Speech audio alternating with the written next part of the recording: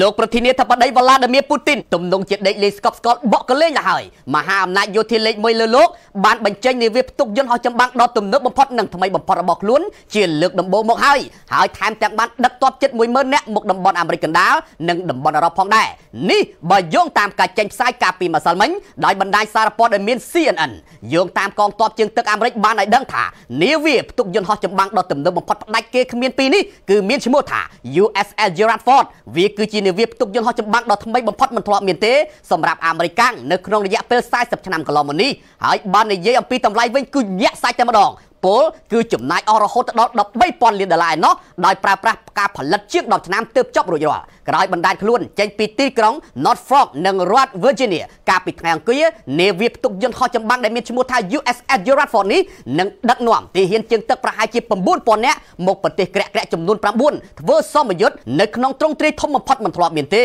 បើគិតចាប់តាំងពីសម័យសង្គ្រាមលោកលើកទី2មកអាមេរិកនៅសុកសុកស្រាប់តែបញ្ចេញនាវាផ្ទុកយន្តហោះចម្បាំងដ៏ទំនើបបំផុតមកនេះក្រោយអតីតមេភ្នាក់ងារចារកម្ម CIA បានពមៀនថាអាមេរិកនឹងដឹកនាំបកសម្ព័ន្ធយោធាទៅកំទេចតបរុស្ស៊ីឲ្យខ្លាចជាផេះតែម្ដងនិងសូម្បីតែនាវាចម្បាំងរបស់រុស្ស៊ីក៏មិនឲ្យសល់ដាននៅលើផ្ទៃសមុទ្រខ្មៅដែរបើលោកពូទីនប្រើអាវុធនុយក្លេអ៊ែរនៅអ៊ុយក្រែនមែននោះវត្តមានរបស់នាវាចម្បាំងដ៏អស្ចារ្យ USS Gerald Ford នេះទៀតសោតលេចមានឡើងស្របពេលដែលក្រសួងការពារជាតិរុស្ស៊ីបានប្រកាសថាខ្លួនកែនទ័ពជាង20ម៉ឺននាក់ហើយពលគឺចិត្តគ្រប់ផែនការសម្រាប់បញ្ជូនមកអ៊ុយក្រែនហើយដោយឡែកងាកទៅមើលការប្រយុទ្ធគ្នានៅភាគខាងកើតប្រទេសអ៊ុយក្រែនវិញឥ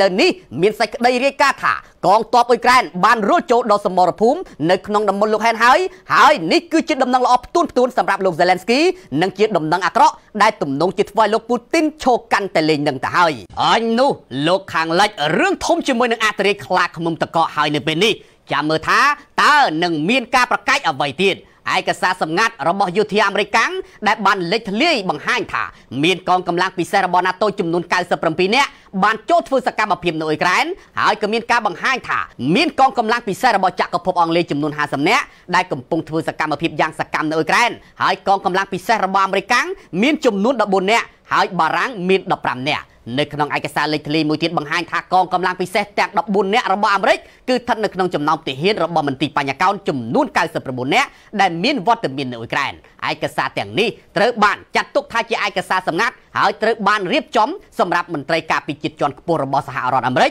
ដើម្បីផ្តល់ព័ត៌មានអំពីប្រតិបត្តិការយោធារបស់ NATO ការដឹកជញ្ជូនការផ្គត់ផ្គង់អាវុធនិងការហ្វឹកហាត់ទាហានអ៊ុយក្រែនព័ត៌មានលេខធ្លីនេះសបញ្ជាក់ឲ្យឃើញថាសម្ដីរបស់លោកពូទីនគឺមិនខុសនោះទេប្រធានាធិបតីរុស្ស៊ីរូបនេះធ្លាប់បានលើកឡើងដដែលដដែលថារុស្ស៊ីមិនមែនកំពុងតែធ្វើសង្គ្រាមជាមួយអ៊ុយក្រែននោះទេប៉ុន្តែកំពុងតែធ្វើសង្គ្រាមជាមួយ NATO ដែលមានសមាជិក30ប្រទេសតើអាមេរិកពិតជាអស់គ្រាប់មែនឬក៏យ៉ាងណា មានសេចក្តីរាយការណ៍ថាមហាអំណាចយោធាផុតលេខ1នេះបានសង់ខ្ចីគ្រាប់កំភ្លើងធំ155មីលីម៉ែត្រចំនួន50ម៉ឺនគ្រាប់ពីកូរ៉េខាងត្បូងទុកសម្រាប់ផ្គត់ផ្គង់ទៅឲ្យអ៊ុយក្រែនយោងតាមកសែតកូរ៉េខាងត្បូងដែលមានឈ្មោះថាដងអាល់បូបានចុះផ្សាយនៅថ្ងៃពុធនេះថាកូរ៉េខាងត្បូងបានជិនដល់ការព្រមព្រៀងឲ្យអាមេរិកខ្ចីគ្រាប់កំភ្លើងធំទាំងនេះឲ្យកាលពីខែមុនកាសែតនេះបានដកស្រង់ប្រភពមិនបញ្ចេញឈ្មោះនៅក្នុងជួររដ្ឋាភិបាលកូរ៉េខាងត្បូងមកថាកូរ៉េខាងត្បូងសម្រេចឲ្យខ្ចីជំនួសឲ្យការលក់ហើយគឺដើម្បីកាត់បន្ថយលទ្ធភាពដែលគ្រាប់របស់កូរ៉េខាងត្បូងត្រូវបានប្រើប្រាស់នៅក្នុងចំនួននៅអ៊ុយក្រែន ប្រភពនេះបានបន្ថែមថាគ្រាប់ឲ្យខ្ចីនេះគឺនឹងអាចប្រើប្រាស់ដោយអាមេរិកដើម្បីបំពេញស្តុកអាវុធរបស់ខ្លួនតែប៉ុណ្ណោះអ្វីត្បិតកូរ៉េខាងត្បូងអះអាងយ៉ាងណាក៏ដោយប៉ុន្តែក្រោមក្រសែភ្នែករបស់អ្នកវិភាគមើលឃើញថាមុននឹងក្រោយអាមេរិកគង់តែបង្វែរគ្រាប់កាំភ្លើងនេះសម្រាប់ផ្គត់ផ្គង់ទៅឲ្យអ៊ុយក្រែនទេកាលពីឆ្នាំមុនអាមេរិកបានទិញគ្រាប់កាំភ្លើងធំ100,000គ្រាប់ពីកូរ៉េខាងត្បូងរួចហើយនៅខែកុម្ភៈទីក្រុង Washington បានស្នើសុំទិញ100,000គ្រាប់ទៀតឬក៏អាចច្រើនជាងនេះ ប៉ុន្តែរដ្ឋាភិបាលកូរ៉េខាងត្បូងបានស្វែងរកវិធីសាស្ត្រផ្សេងដើម្បីផ្គត់ផ្គង់គ្រាប់ទៅឲ្យសម្ព័ន្ធមិត្តរបស់ខ្លួនទើបលេចចេញជាកិច្ចព្រមព្រៀងឲ្យខ្ចីបែបនេះទៅព្រោះកូរ៉េខាងត្បូងនៅតែប្រកាន់គោលការណ៍មិនផ្ដល់អាវុធប្រឡាយជីវិតទៅឲ្យអ៊ុយក្រែននោះឡើយ បើទោះបីជាយ៉ាងណាទាំងរដ្ឋាភិបាលទីក្រុង Washington និងទីក្រុងសេអ៊ូផ្ទាល់គឺមិនទាន់បានបញ្ជាក់អ្វីនៅឡើយទេជុំវិញកិច្ចព្រមព្រៀងនេះទីក្រុងគៀវខូចខាតគ្រឿងសឹកនិងស្លាប់ទ័ពច្រើនជាងរុស្ស៊ីរហូតដល់10ដងឯណោះហើយខ្ញុំអាចបញ្ជាទ័ពឲ្យចូលរឹបអូសទឹកដីអ៊ុយក្រែនបន្ថែមទៀតដើម្បីការពារដែនដីរុស្ស៊ីនៅតាមព្រំដែននេះគឺជាសម្ដីប្រកាសក្តែងក្តែងចេញពីមាត់របស់មេផុតលេខកម្ពុជារបស់រុស្ស៊ីគឺលោកប្រធានាធិបតី Vladimir Putin តែម្ដង លោកពូទីនបានប្រកាសដោយមិនញញើតមាត់បែបនេះកាលពីថ្ងៃអង្គារដើម្បីរៀបរាប់លម្អិតអំពីស្ថានភាពសង្គ្រាមនៅក្នុងកិច្ចប្រជុំជាមួយនឹងអ្នកកសែតប្លុកគឺផ្នែកយោធាទំនងជាចង់សម្ដៅថារថក្រោះរបស់លោកខាងលិចគ្រាន់តែជាដៃជ្រេះចាប់លោកប្រធានាធិបតីសម្ដីមុតចិត្តហ៊ីរូបនេះបានបញ្ជាក់ទាំងទឹកមុខមាត់បែបនេះថាអ៊ុយក្រែនអស់រថក្រោះរហូតដល់160គ្រឿងរថពាសដែកជាង360គ្រឿងពលគឺអស់ប្រហែលជា25ទៅ30%បាត់ទៅហើយនៅរថក្រោះនិងរថពាសដែកដែលលោកខាងលិចផ្គត់ផ្គង់មកឲ្យទីក្រុងគៀវគណៈរុស្ស៊ីបាត់បង់រថក្រោះត្រឹមតែ54គ្រឿងនៅក្នុងការប្រយុទ្ធគ្នាយ៉ាងក្តៅគគុកនាប៉ុន្មានថ្ងៃចុងក្រោយនេះលោកប្រធានាធិបតីវ៉ាឡាឌីមៀពូទីនបានបន្តទៀតថាហើយបើនិយាយអំពីការបាត់បង់ជីវិតវិញអ៊ុយក្រែនស្លាប់តបច្រើនជារុស្ស៊ីរហូតដល់10ដងឯណោះពលគឺផែនការវិបករបស់អ៊ុយក្រែនកំពុងតែបរាជ័យដោយឡែកពេលសម្ដៅដល់ការវាយប្រហារមកលើតំបន់បេការ៉ុតនៅក្នុងទឹកដីរុស្ស៊ីលោកពូទីនបានគូបញ្ជាក់ផងដែរថាលោកអាចនឹងបញ្ជាឲ្យទ័ពរុស្ស៊ីចូលទៅបោះសម្អាតទឹកដីអ៊ុយក្រែនបន្ថែមទៀតដើម្បីទប់ស្កាត់កុំឲ្យមានការវាយប្រហារមកលើទឹកដីរបស់យើងបន្តទៀតងាកមកមើលគុណភាពអាវុធវិញលោកពូទីនបានលើកឡើងថាគុណភាពអាវុធរបស់រុស្ស៊ីគឺពិតជាប្រសើរឡើងប៉ុន្តែលោកទទួលស្គាល់ថាប្រទេសរបស់លោកកំពុងតែខ្វះដ្រូននិងគ្រាប់ដែលបានបាញ់ចំគោលដៅច្បាស់ច្បាស់អត្រាខ្លាឃ្មុំតកប្រកាសអំពីជ័យជំនះយ៉ាងត្រចះត្រចង់នេះគណៈអាមេរិកប្រកាសផ្ដល់ជំនួយយោធាមួយកញ្ចប់ទៀតដែលមានទំហំទឹកប្រាក់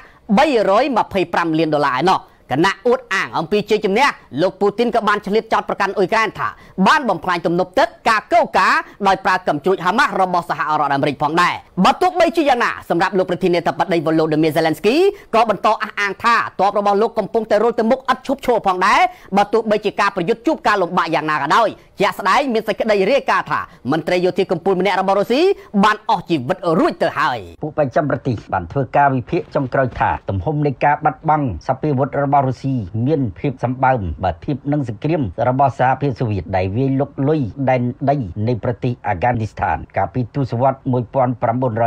1980នៅពេលនេះតួលេខរបស់ពួកបញ្ចាំប្រទេសនិងប្រភពចារកម្មរបស់ពួកបញ្ចាំប្រទេសរាប់ទាំងតួលេខរបស់អគ្គសេនាធិការកងទ័ពអ៊ុយក្រែនបានចុះផ្សាយនៅតួលេខប្រហាក់ប្រហែលគ្នាដោយគេដឹងថាអំឡុងនៃសង្គ្រាមជិត23ខែនេះរុស្ស៊ីបាត់បង់រថក្រោះធុនធ្ងន់រហូតដល់ទៅ6070គ្រឿងរថពាដែកបាត់បង់អស់ជាង12050គ្រឿងកំភ្លើងធំបាត់បង់អស់ជាង8710គ្រឿងអ្នកវិភាគនិងអ្នកសង្កេតការណ៍របស់ពួកបច្ចាំប្រទេសផ្នែកយោធាបានដឹងថាបើយោងតាមតួលេខដែលចេញផ្សាយដោយអគ្គសេនាធិការកងទ័ពអ៊ុយក្រែនបើវាជាតួលេខពិតនោះមានន័យថាសង្គ្រាមបើរុស្ស៊ីបន្តអស់បន្លាយជាមួយនឹងអ៊ុយក្រែនមួយឆ្នាំឬក៏ជិត2ឆ្នាំទៀតគឺរុស្ស៊ីអាចនឹងអស់រថក្រោះអស់រថពាដែកនិងកំភ្លើងធំក្នុងការធ្វើសង្គ្រាមនេះប៉ុន្តែសំណួរសួរថាតើរុស្ស៊ីអាចផលិតបានអាវុធទាំងអស់នេះដើម្បីផ្គត់ផ្គង់កងទ័ពរបស់ខ្លួនដែរឬទេបើមួយថ្ងៃមួយថ្ងៃរុស្ស៊ីបាត់បង់រថក្រោះពី10គ្រឿងទៅ20គ្រឿងក៏មានផងដែររថពាដែកពី15គ្រឿងទៅ30គ្រឿងក៏មានផងដែរកំភ្លើងធំបាត់បង់ពី10គ្រឿងទៅ15គ្រឿងក៏មានផងដែរនោះអ្នកវិភាគនិងអ្នកសង្កេតការណ៍របស់ពួកបច្ចាំប្រទេសយកតួលេខដែលចេញផ្សាយដោយអគ្គសេនាធិការកងទ័ពអ៊ុយក្រែននិងធ្វើការអង្កេតបន្ថែមទៀតដោយទទួលស្គាល់ថាតួលេខដែលចេញផ្សាយដោយក្រសួងការពារជាតិអ៊ុយក្រែនគឺអាចមានភាពត្រឹមត្រូវផងដែរបើធៀបនឹងចំនួនទ័ពរបស់រុស្ស៊ីដែលបាត់បង់នៅលើទឹកដីអ៊ុយក្រែនក៏វាហក់ឡើងជិត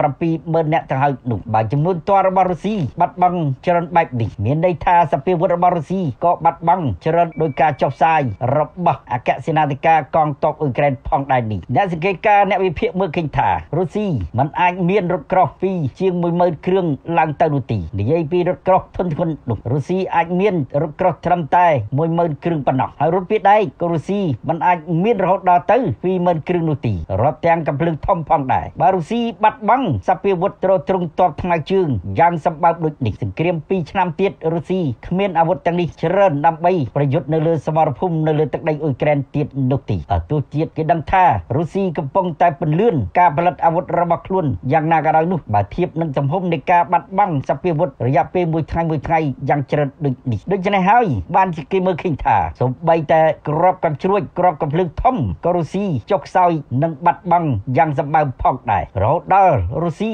ទៅទិញក្របកំភ្លើងធំទៅសុំជំនួយក្របកំភ្លើងធំពីកូរ៉េខាងជើងពីអ៊ីរ៉ង់ថែមទៀតផងរុស្ស៊ីទិញក្របកំភ្លើងធំពីកូរ៉េខាងជើងទិញក្របមីស៊ីលពីកូរ៉េខាងជើងដើម្បីមកបំពេញសេចក្តីត្រូវការរបស់ខ្លួនក្នុងសង្គ្រាមនៅលើទឹកដីអ៊ុយក្រែនបរាពីនេះអ្នកសង្កេតការអ្នកវិភាគមើលឃើញថាទំហំនៃការបាត់បបង់សភាវុធរបស់រុស្ស៊ីដែលមានដោយការចុះផ្សាយរបស់អគ្គសេនាធិការកងទ័ពអ៊ុយក្រែននោះនាំឲ្យរុស្ស៊ីគ្មានទេឱកាសក្នុងការធ្វើសង្គ្រាមវាយផ្ដួលរំលំរដ្ឋាភិបាលរបស់ប្រធានាធិបតីអ៊ុយក្រែន Volodymyr Zelensky រុស្ស៊ីបច្ចុប្បន្ននេះមានព្រៀបជាងកងទ័ពអ៊ុយក្រែនតែនៅលើសវរភូមិលំហអាកាសតែប៉ុណ្ណោះដូចជាការបាញ់មីស៊ីលបាញ់ដ្រូនវាយប្រហារតែប៉ុណ្ណោះហើយឥឡូវនេះអ៊ុយក្រែនក៏មានលទ្ធភាពនិងសមត្ថភាពក្នុងការប្រើប្រាស់មីស៊ីលនិងដ្រូនវាយប្រហារលើទឹកដីរុស្ស៊ីផងដែរចុងក្រោយនេះរុស្ស៊ីបើកការវាយប្រហារចូលទៅទឹកដីអ៊ុយក្រែនរហូតដល់ប្រើគ្រាប់មីស៊ីលល្បឿនលឿនជាងសម្លេងទៀតផងតែប៉ុណ្ណោះរុស្ស៊ីឈានដល់ការប្រើប្រាស់យន្តហោះទម្លាក់គ្រាប់បែកយុទ្ធសាស្ត្ររបស់ខ្លួន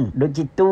95ទូ160ជាដើមដំណាក់កាលចុងក្រោយនេះអ្វីដែលសំខាន់បំផុតអ្នកវិភាគអ្នកសង្កេតការមើលឃើញថាទំហំនៃការបាត់បង់សពាវុធរបស់រុស្ស៊ីយ៉ាងសម្បើមដូចនេះរាប់ពីមួយថ្ងៃទៅមួយថ្ងៃហើយការផលិតរបស់រុស្ស៊ីទំនងមិនរត់ទាន់ស្ថានភាពនោះទេមិនរត់ទាន់ការបាត់បង់សពាវុធរបស់ខ្លួននោះទេបាទទោះជារុស្ស៊ីព្យាយាមផលិតអាវុធថ្មីហើយប៉ុន្តែមានទំហំតិចតួចតែប៉ុណ្ណោះមានចំនួនតិចតួចតែប៉ុណ្ណោះគឺมันអាចប្រៀបនឹងការបាត់បង់បាននោះទេការដែលរុស្ស៊ីបើកការវាយលុកចូលទៅទឹកដីអ៊ុយក្រែននៅវគ្គដំបូងក្នុងរយៈពេល6ខែនោះរុស្ស៊ីបានបាញ់គ្រាប់កម្លាំងធំចូលទៅទឹកដីអ៊ុយក្រែនក្នុងមួយថ្ងៃរុស្ស៊ីបាញ់ពី50000គ្រាប់ក៏មានផងដែរប៉ុន្តែដល់ដំណាក់កាលចុងក្រោយនៅពេលដែលអ៊ុយក្រែនវាយរុញច្រានទ័ពរបស់រុស្ស៊ីឲ្យបាក់ទ័ពនៅលើសមរភូមិចំនួន3ធំធំនៅខាងជើងរដ្ឋធានីគីវនៅសមរភូមិខាគីវភាគឦសានប្រទេសនិងសមរភូមិខឺសិនភាគខាងត្បូងប្រទេសពេលនោះហើយដែលគេដឹងថារុស្ស៊ីចាប់ផ្ដើមស្រុតចុះនៃការប្រើប្រាស់គ្រាប់កម្លាំងធំទូរុស្ស៊ី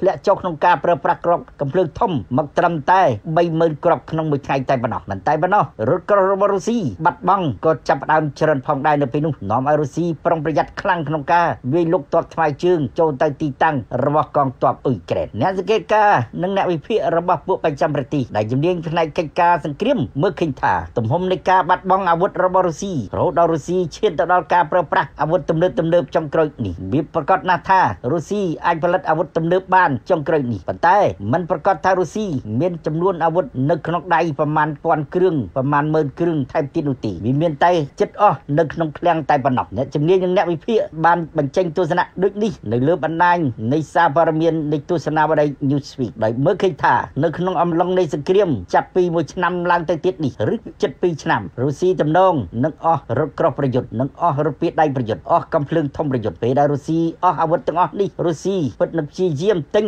ពីប្រទេសកូរ៉េខាងជើងពីប្រទេសអារ៉ង់ប៉ុន្តែតំណងមិនដូចចិត្តនោះទេព្រោះកូរ៉េខាងជើងក៏ត្រូវការរថក្រោះរបស់ខ្លួនដើម្បីការពារករណីដែលកូរ៉េខាងជើងធ្លាក់ក្នុងសង្គ្រាមជាមួយនឹងកូរ៉េខាងត្បូងឬជាមួយនឹងសហរដ្ឋអាមេរិកផងដែរនោះនិយាយពីការដែលរុស្ស៊ីព្យាយាមទិញអាវុធពីអ៊ីរ៉ង់ក៏អ៊ីរ៉ង់មិនងាយនឹងលក់ឲ្យរុស្ស៊ីងាយងាយនោះទេព្រោះអ៊ីរ៉ង់ក៏កំពុងតែត្រៀមខ្លួនករណីអំពីសង្គ្រាមអាចកើតឡើងនៅតំបន់មជ្ឈមបូព៌ារវាងអ៊ីរ៉ង់ជាមួយនឹងប្រទេសណាមួយនៅក្នុងមជ្ឈមបូព៌ានេះដូចជាករណីជាមួយនឹងប្រទេសអ៊ីស្រាអែលជាដើមប្រសិនបើកើតមាននោះអ្នកសង្កេតការណ៍និងអ្នកវិភាគមើលឃើញថាដូច្នេះហើយបានជារុស្ស៊ីចេះតែប្រាប់ទៅពួកបច្ចាំប្រទេសថាខ្លួនគេចង់ចរចាជាមួយនឹងអ៊ុយក្រែនបើទោះជាសង្គ្រាមរដូវត្រជាក់នេះរុស្ស៊ីមានព្រៀបជាងអ៊ុយក្រែនក៏ដោយនោះក៏រុស្ស៊ីចង់តែបើកការចរចាប្រធានាធិបតីអ៊ុយក្រែនយល់ច្បាស់ណាស់ថាការដែលលោកវ្លាឌីមៀពូទីនបង្ហើបការចរចានោះគឺមិនមែនមានន័យថាលោកពូទីនសម្ដែងការស្មោះត្រង់នោះទេវាគ្រាន់តែជាល្បិចក្នុងការអស់ក្រឡា